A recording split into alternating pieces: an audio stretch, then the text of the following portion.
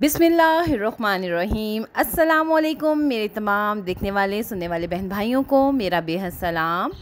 दुआ है कि अल्लाह पाक हम सब पे अपना फजल करम फरमाए रखे। जी वीवर्स मेरे बहन भाइयों, आज आपके अनिस किचन में हम आपके साथ शेयर करेंगे गर्मियों के सीज़न की बहुत ही मज़ेदार और फ़ेमस सब्ज़ी की इस रेसिपी को। अरवी चिकन का सालन बनाना हुआ। अब बेहद आसान, बहुत ही आसान तरीके से, बहुत मज़ेदार तरीके से मैं आपको बता दूँगी कि आप कौन कौन सी ऐसी बातों को मद्देनज़र रख के अपनी अरवी और गोश्त की इस रेसिपी को बहुत शानदार बना सकती हैं। कोई मुश्किल बात नहीं है। तो चलें स्टार्ट करते हैं अपनी चिकन और अरवी की इस बहुत ही शानदार और मज़ेदार सी रेसिपी की तरफ़, जिसके लिए हमने अल्लाह पाक की अता करदा नीमतों को एक तरतीब से रख दिया है। और अरवी गोश्त बनाने के लिए हमें सबसे पहले स्पाइसेस में यहाँ पे चाहिए नमक, हसबे जायका red chilli powder one tablespoon ज़ीरा वन टी स्पून हल्दी वन टेबल स्पून और लहसन हमें यहाँ पर चाहिए आठ से नौ जवें। प्याज हमने यहाँ पे ले लिए हैं तीन अदद बड़े साइज़ के, जिनको हमने कटिंग करके रख दिया है और टमाटर भी हमें चार से पाँच अदद चाहिए, जिनको हमने काट के रख दिया है। अरबियाँ यहाँ पे हमने लेनी है, इनको मैंने अच्छी तरह से छील के रख दिया है और इनके दरमियान में कट्स लगा दिए हैं हमने, ताकि इनको गलाने में ज़्यादा मुश्किल ना हो। रूट्स वेजिटेबल है ये। और जिस तरह से आप देख रहे हैं कि इनको मैंने पील करके रख दिया था और इनको अच्छी तरह से जो बड़ी हमारे साइज़ की थी अरवियाँ, उनमें मैंने इसमें दरमियान में कट लगा दिया था ताकि इनको जो है गलने में आसानी हो जाए। और यहाँ पे हमने चिकन जो है उसको ले लिया हाफ़ के जी इसको मैंने वॉश करके अच्छी तरह से रख दिया था और सारी जो इंग्रेडिएंट्स हैं वो रेडी हैं। अब सबसे पहले हमने ऑयल या घी जो है उसको कढ़ाई में डाल दिया है। साथ ही हमने प्याज और जो लहसन है हमारा, उसको हमने ऑयल में शामिल प्याज और लहसुन को ऑयल में डालने के बाद हमने हमने इनको कुक करना है, जब तक कि ये गोल्डन ब्राउन शेड ना इनका आ जाए। और अब यहाँ पे प्याज और लहसुन जो हैं, वो ब्राउन हो रहे हैं और साथ ही हमने टमाटर जो है, उनको ब्लेंडर में डाल देना है। यहाँ पे हम इनको साथ साथ मसाला भी रेडी करते जाएँगे। और जैसे ही हमारे जो प्याज और लहसन है, वो गोल्डन ब्राउन शेड आ जाएगा तो फिर इनको हमने जो है उन्हीं टमाटरों में शामिल कर देना है, जो हमने ब्लेंडर में डाले हैं।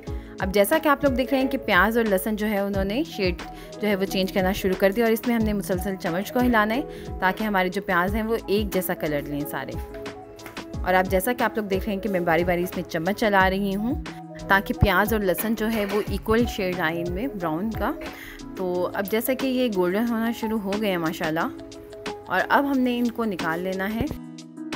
तो मेरे बहन भाई अब जो प्याज हैं, वो लाइट गोल्डन सा शेड जो है उन्होंने ले लिया, माशाल्लाह, और अब इनको हमने बारी बारी जो है ऑयल से अलग कर लेना है, और इनको अब हमने उस ब्लेंडर में डालना है जिसमें हमने टमाटर डाले हुए थे, और इनकी अब हमने बनानी है बहुत अच्छी फाइन सी पेस्ट तो जिस तरह आप लोग देख रहे हैं कि बारी बारी तमाम प्याज और लहसन जो हैं, वो हम ब्लेंडर में डाले जा रहे हैं और अब इनको हमने बहुत अच्छी तरह से ब्लेंड कर दिया और ये बहुत फाइन पेस्ट तैयार है यहाँ पे हमारे पास।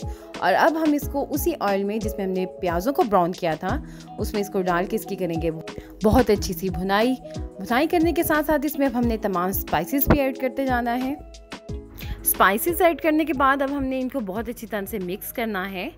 ताकि तमाम स्पाइसेस जो हैं, वो हमारे मसाले में जो हैं, वो बहुत अच्छी तरह से मिक्स हो जाए। और अब हमने इनको साथ के साथ कुक करना है और इनकी करनी है बहुत अच्छी तरह से भुनाई, ताकि इनमें से जो कच्चापन है, वो बिल्कुल ख़त्म हो जाए। और अब इसको कवर करके हमने थोड़ी देर के लिए कुक करना है। तकरीबन 10 मिनट तक हमने इसको पकाना है। तो मेरे बहन भाइयों 10 मिनट जो हैं वो अब गुजर चुके हैं और अब हमने इसका ढक्कन जो है वो खोल के देखा और मसाले हमारे जो हैं वो बहुत अच्छी तरह से भुन रहे हैं। जैसा कि आप लोग देख रहे हैं कि ऑयल जो है वो निकलना शुरू हो गया। ऑयल निकलना शुरू हो गया और मसाले का जो कच्चापन है वो बिल्कुल ख़त्म हो गया है यहाँ पे, क्योंकि ये काफ़ी अच्छा से कुक हो चुका है। जैसा कि आप लोग देख रहे हैं कि माशाल्लाह मसाले की जो शक्ल है वो कितनी खूबसूरत लग रही है। इसका कलर कितना खूबसूरत आया माशाल्लाह। और अब हमने इसको भुनाई करते हुए इसमें ऐड करना है चिकन को। तो मेरे बहन भाइयों, चिकन को मसाले में शामिल करने के बाद हमने इसे बहुत अच्छी तरह से एक दफ़ा मिक्स करना है और इनको भी हमने पकाना है इतनी देर तक जब तक कि चिकन जो है वो हमारा बहुत अच्छी तरह से टेंडर ना हो जाए। और अब इसको मसाले और चिकन को हमने कवर करके तकरीबन 10 मिनट के लिए कुक करना है ताकि चिकन जो है वो हमारा बहुत अच्छी तरह से गल जाए। और अब दूसरी तरफ़ हमने एक बर्तन ले लिया, जिसके अंदर हमने अरवियाँ शामिल कर दी। अब यहाँ पे हमने पील की हुई और कटिंग की हुई अरवियों को जो है, एक बर्तन में डाल दिया है और उसमें हम, हमने पानी को शामिल करना है।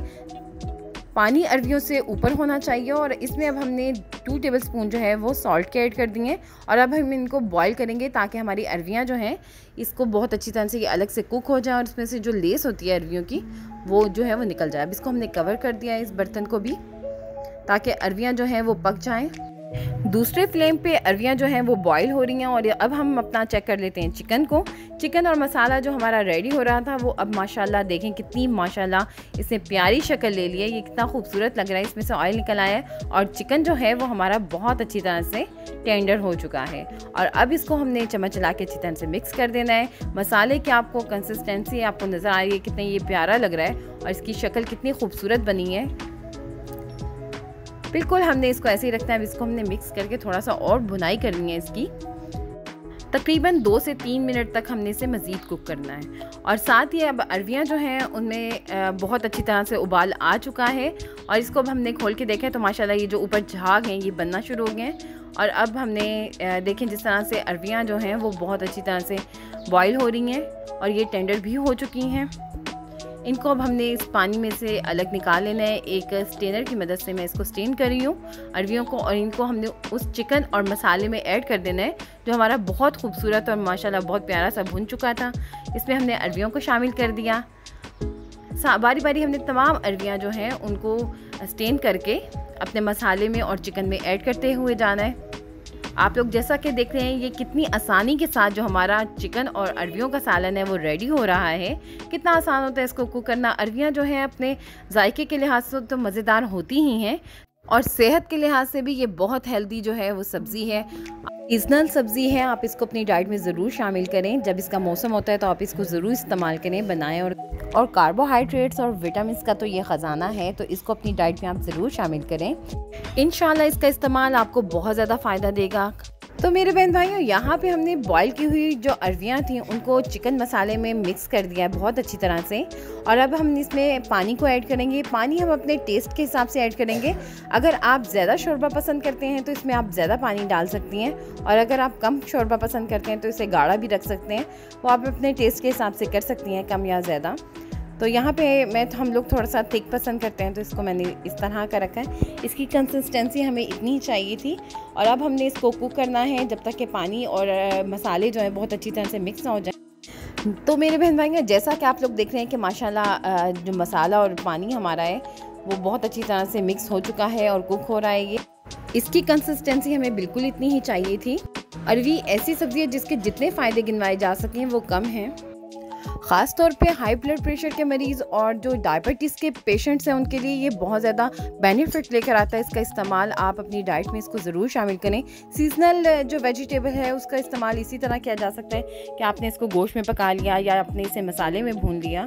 और इसके साथ आप लीमू का इस्तेमाल करें, जो कि इसके जायके के साथ साथ आपकी सेहत के लिए भी बहुत ज़्यादा फ़ायदेमंद होगा इन तो मेरे बहन भाइयों यहाँ पे हमने चिकन और अरवियाँ जो हैं, उसका सालन डोंगे में डाल दिया है, जो कि दिखने में भी आप देख रहे हैं, जैसा कि ये कितना मज़ेदार लग रहा है, बहुत टेम्पटिंग लग रहा है, माशाल्लाह। और अब इसके ऊपर हमने गार्निश करनी है। तो मेरे बहन भाइयों, यहाँ पे हमने बहुत बारीक हरा धनिया जो है वो कटिंग करके रख लिया था, जिसको मैं अब अपने अरवी गोश्त के सालन के ऊपर जो है वो छिड़क रही हूँ। और इसके साथ हमने सर्व किया था लेमन कटिंग किए हुए, जो इसके जायके को, हमारे अरवी गोश्त के जायके को बहुत ज़्यादा हाई लेवल दे देंगे और बहुत ज़्यादा मज़ेदार लगता है ये सालन। हमें तो बहुत ज़्यादा मज़े का लगता है, मेरे बच्चों को बहुत ज़्यादा पसंद है। आप भी इस रेसिपी को अपने घरों में ज़रूर ट्राई करिएगा। इन ये आसान सी, मज़ेदार सी अरवी चिकन की ये रेसिपी आपको ज़रूर पसंद आएगी। इन और जब आप लीमू को इसके ऊपर निचोड़ के इस्तेमाल करेंगे, खाएँगे तो आपको ये बहुत ही मज़ा करवाएगा इन इसके साथ ही यकीन करती हूँ कि अरवी चिकन की ये मज़ेदार सी, आसान सी रेसिपी आपको ज़रूर पसंद आई होगी। रेसिपी पसंद आई हो तो लाइक, कमेंट, शेयर ज़रूर करिएगा और अपनी बहन को दुआ में याद रखिएगा। चैनल सब्सक्राइब नहीं किया तो जल्दी से कर दें और बेल आइकान का बटन दबाना मत भूलिएगा। अल्लाह हाफिज़।